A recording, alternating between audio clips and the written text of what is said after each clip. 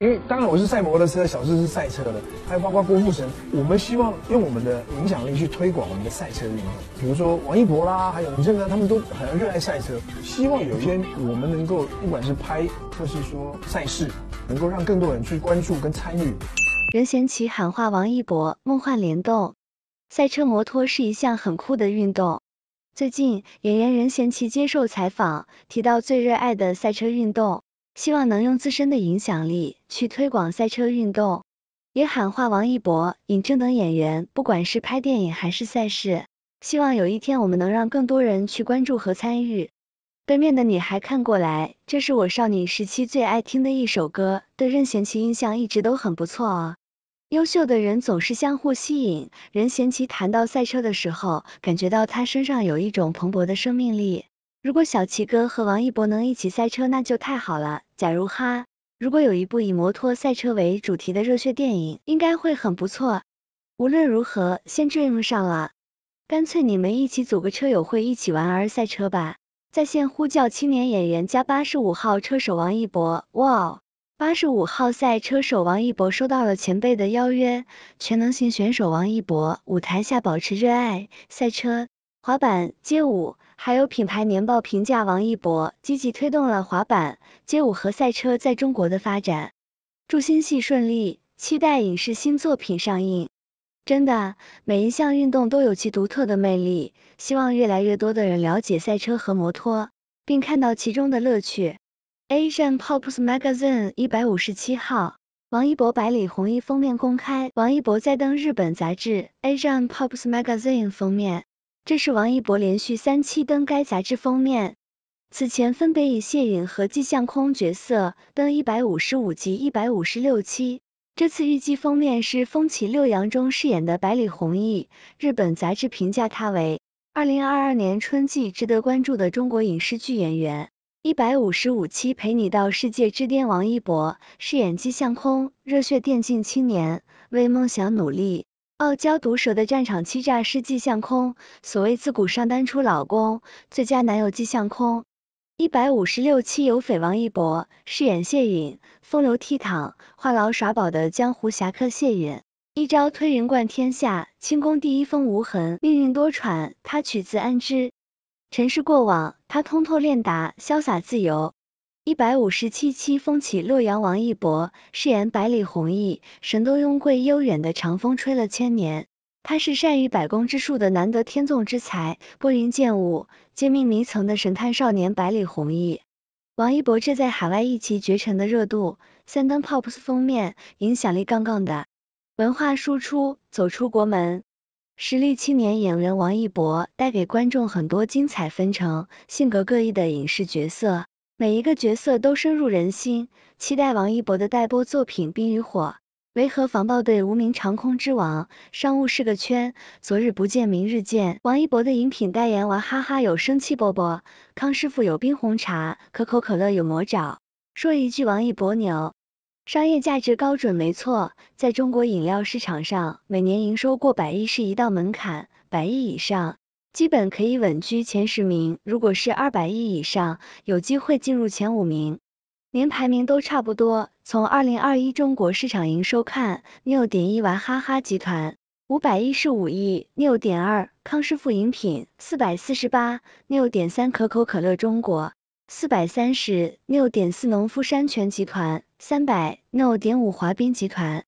二百三十中国红牛这几家集团基本都品牌力强大，家喻户晓，强势产品作为基础引领，终端渠道布局广泛且可控，都是饮品领域的超大霸霸。前三集团王一博都有合作，不管是集团品牌年轻化的新品开利旺生、气 Bob，还是拳头垂直领域 Top 产品康师傅冰红茶、美汁源合作过，或者说新进入中国市场的产品魔爪。王一博这商业价值也没水了，饮料市场厮杀异常激烈，品牌细化找同一个代言人也是行业少见，即使存在竞品关系，还是想要王一博扩大声量和扩大市场占有率。行业 TOP 集团家大业大，品牌也多，毕竟每个集团旗下都有很多独立品牌，饮品的品牌方都很大方多金，很注重品牌投入和渠道。所以强强联合，合作就好好表现。声量多多支持，线上线下活动多多参与，好聚好散，合作共赢。王一博埋头在剧组安静拍戏，已经三个多月，真的是处于闭关神隐状态。在这段见不到他的日子里，粉丝只能靠着考古诉说思念。在不曾见面的日子中，我们都各自努力着，虽然没有机会，也没有办法见到正主，可粉丝们却也都在积极努力着。特别是在这一个特殊的时刻，摩托姐姐们真的有践行着粉随正主。这四个字不是一句口号，而是真正的身体力行。粉丝一轮接一轮的做公益，上上下下充满正能量，好棒的偶像，好棒的粉丝。王一博上海粉丝团捐赠物资，助力上海抗疫登上热搜。看到视频和照片中的志愿者，感受到他们的温暖善良，也感受到这份无私的爱和奉献。粉随正主，做正能量的人，做正能量的事，做一个对社会有帮助的人。当初他的家乡河南有难的时候，王一博作为本土艺人，不仅捐款，还亲自赶赴。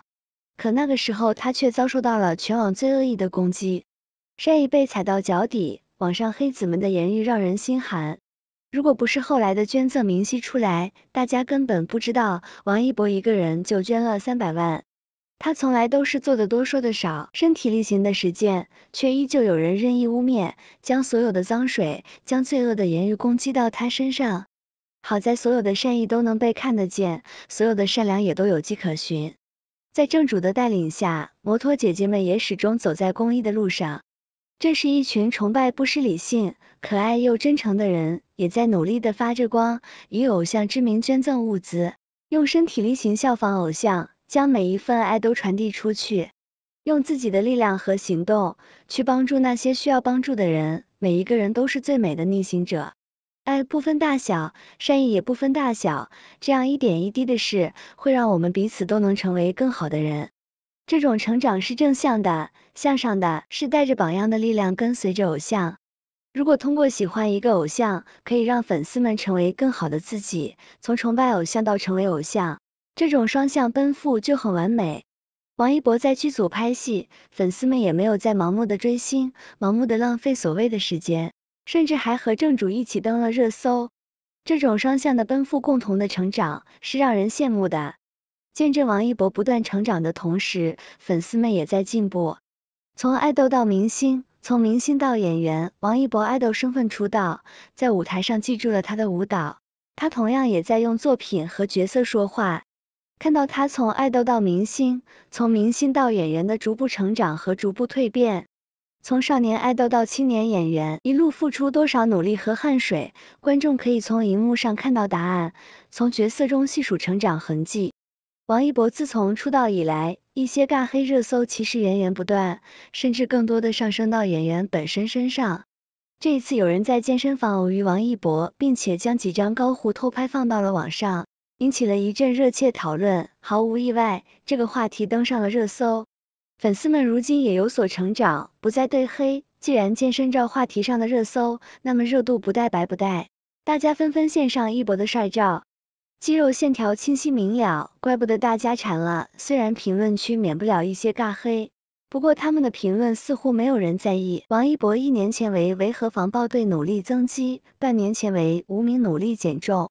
现在为了长空之王又增肌，断断续续一年的时间一直在折腾，只是因为角色需要，固然是演员的本分，但也不应该成为别人攻击的对象。有些人别说增肌和减重，就是日常的锻炼，恐怕都很难坚持下去。都说坚持的人最酷，也的确是这样。对于一些别人优秀就眼红的人，自然就会产生一种别人的优秀会成为他眼中碍眼刺的心理。他的用心和成长自有观众看得到。王一博持续的锻炼健身，是为了角色更好的准备，是为了更好塑造角色。自律的男孩最优秀，认真的男人最迷人。期待王一博的新角色，也同样期待他的电影赶快上映。希望在荧幕上见到一个不一样的王一博。